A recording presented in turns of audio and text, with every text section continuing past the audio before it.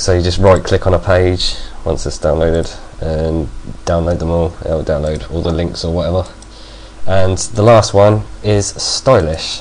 Stylish is the thing I use to make my Google desktop, uh, sorry, Google web page and YouTube black. So what you do is you install it. See it says restart to complete installation. This only works for uh, Firefox. You have to have Firefox to be able to use this. It puts an icon in your bottom right saying stylish. Basically, if you go onto things like youtube.com, now this white, it's bright, it's hurting my eyes or whatever. You can say find styles for this page. You'll then open their thing and they'll say there's loads of styles for YouTube.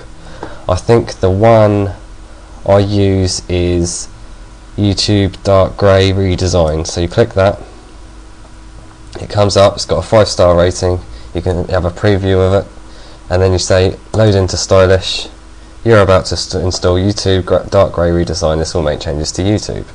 So you say save, and then if I click on the YouTube thing again, you can see it's now all black, nice and black, so easy on the eyes, uh, very good to use. Uh, you can do the same thing for loads of different websites, Digg and things like that, and people get it so that you can block the ads out. Um, yeah, I I don't have this because I've just uninstalled Firefox, but basically you can get a dark uh, grey redesign for uh, for Google, but I'm not sure they have it for Google UK, Google Classic Grey that's kind of what I had, but basically I modded a a dot com version into uh, my stylish thing, and oh yeah, it's not it's not Google, it? There we go, Google. Um, what I'll do is I'll uh, somehow I'll upload it somewhere, and you can download it if you want. To, if you want to look exactly like I had on mine, but other than that, you can just have it like this. This looks okay, doesn't it? I don't know if it works if you search. Yeah, it works if you search as well. So this is just a dark grey version.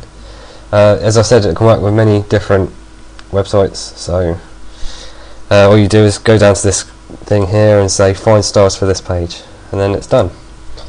Okay, on to themes. Uh, I've only selected three themes because these are you, you'll probably find one that you like anyway, but I'm just showing it just for reference purposes.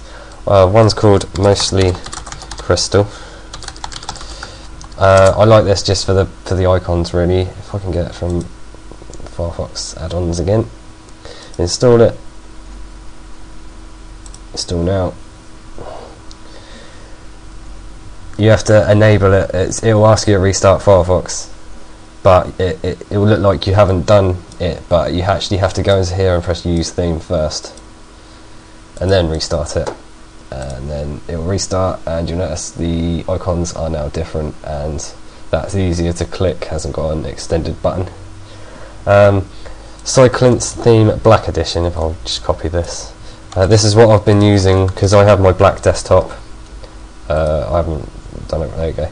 Um, I've been using a black desktop so I figured might as well try and get a black uh, uh Firefox theme. So just install that in the same way it will eventually download it.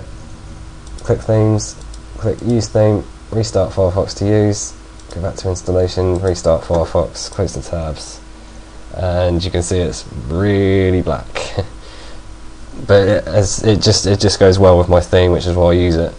Uh, another functional one I found is uh, it's called Minifox. Basically, I've said how to make this whole Firefox toolbar a lot smaller but this this just makes it stupidly small. So if you really want to save space, if your desktop's quite big, then go for Minifox.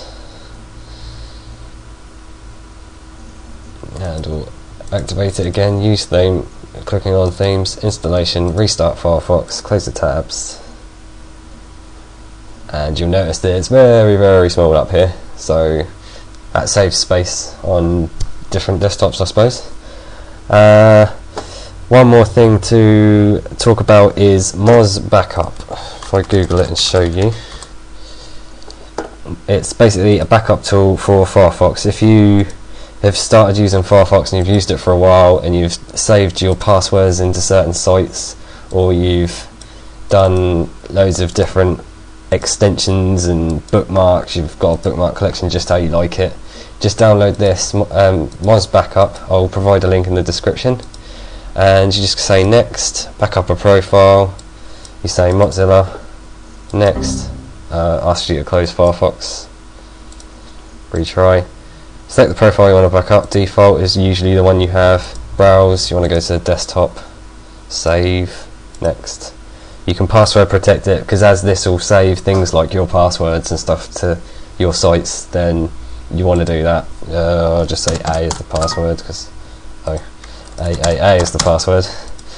And yeah the thing with the extensions it says some extensions have got problematic restoration so but I've found all the ones I've just shown you haven't had that problem so uh, it's up to you which which ones you do. It just backs it up click finish and it's done. And you can save that onto an external drive uh, that's pretty much it really. Uh, thanks for watching my video. Uh, if there's any recommendations you have to Firefox then uh, please leave a comment. And if you like my videos please rate and subscribe and I'll continue